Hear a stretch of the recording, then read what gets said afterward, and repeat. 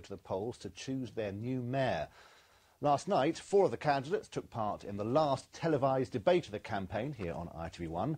Today, the three remaining candidates have been fleshing out their key policies, as our election correspondent Alex Forrest now reports.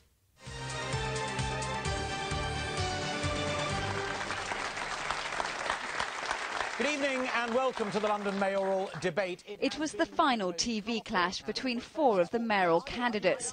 From transport to housing to crime, the four found little they could agree on. Fares going up 2% above inflation each year. You know We're now 10 well. days from the election. You know, you, you are still refusing well. to answer. With the current mayor, Boris Johnson, under particular scrutiny. He is trying to have you over here in terms of the numbers he's talking about.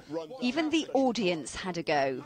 Would you let me finish? It's not true. The number, has the number of young, the number of young people dying as a result of knife crime has gone down. Well, Youth I've lost friends, thank you youth- very much. So what are the policies of the other three candidates? First up, transport.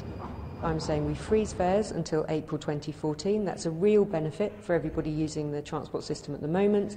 And I would reduce fares for people who are on a low wage in London and let job seekers travel for free so that they can actually get to their job interviews. I'm also saying I would open up the tubes for one hour extra on a Friday and a Saturday.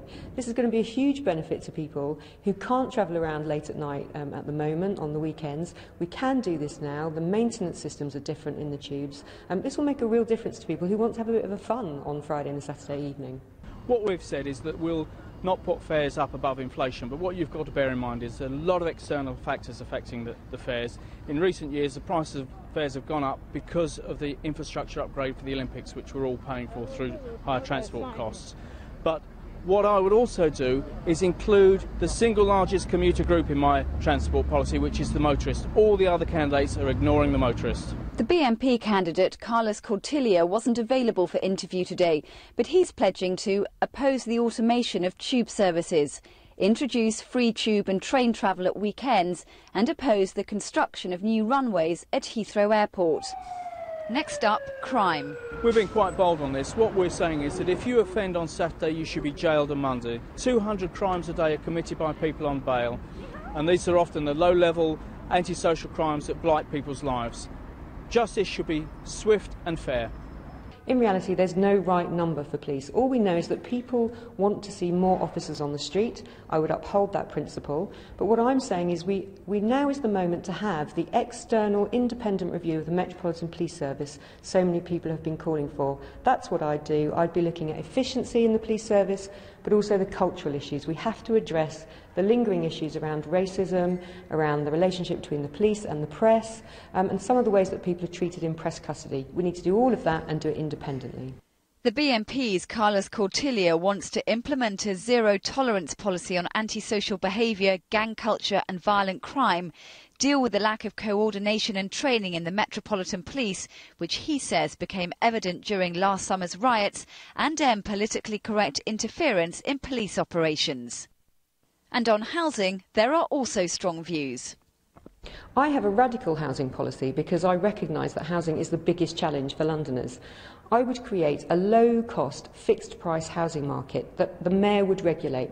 So I would gift some of the land that the Mayor owns. The Mayor is the biggest landowner in London. That removes a huge cost for property developers. That means we can sell those homes at half of the commercial price at the moment.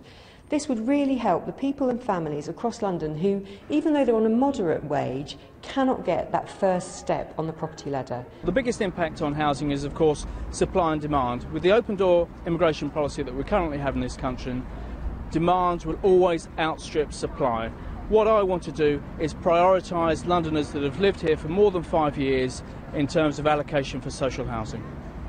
Carlos Cortiglia for the BNP is promising to provide extra housing across London without compromising quality or infrastructure and to improve the planning process by making the Greater London Assembly responsible for planning decisions in the capital. The TV debates may now be over, but there's still all to play for to win City Hall. Alex Forrest, London Tonight. And before we move on, a reminder of all the candidates in the election. Boris Johnson represents the Conservatives, Ken Livingstone Labour and Brian Paddick stands for the Liberal Democrats. The Green Party's candidate is Jenny Jones. Lawrence Webb represents UKIP, Carlos Cortiglia stands for the BNP, and Siobhan Benita is an independent candidate. And you get to vote a week tomorrow, as I say. That's the 3rd of May.